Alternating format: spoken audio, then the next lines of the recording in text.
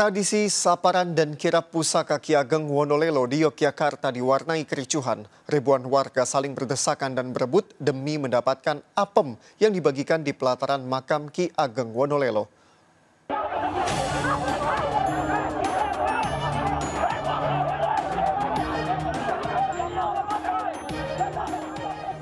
Kericuhan ini terjadi di sela perayaan tradisi saparan di Dukuh Pondok Wonolelo, Sleman, Yogyakarta. Masa emosi terhadap salah satu pengunjung namun berhasil diredam aparat. Pengunjung tersebut langsung diamankan. Ribuan warga Kabupaten Sleman berdesakan demi memperebutkan kue apem di Dukuh Pondok Monolelo Sleman.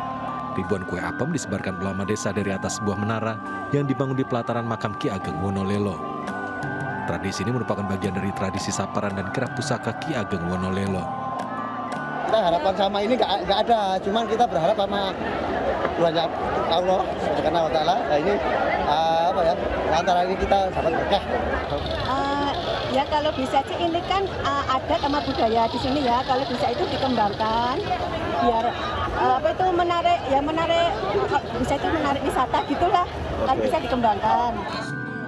Acara saparan dan kirap pusaka diawali dengan upacara adat dan penampilan tari-tarian di halaman Masjid Ki Ageng Wonolelo.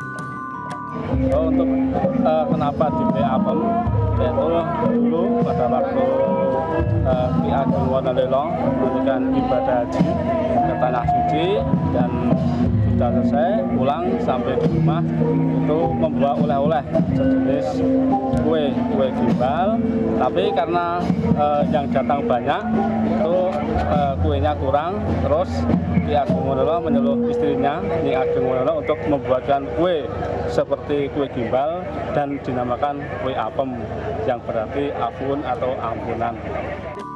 Kirap pusaka dimulai dari Masjid Ki Ageng Wonolelo menuju makam Ki Ageng Wonolelo dengan beberapa kereta kencana dikawal puluhan prajurit bergada. Sesampainya di makam dilakukan tahlil dan doa bersama disusul dengan pembagian gunungan dan ribuan apem. Tradisi ini digelar setiap bulan Sapar Penggalan Islam. Dari Sleman Daerah Istimewa Yogyakarta, Galih Wisma, iNews melaporkan.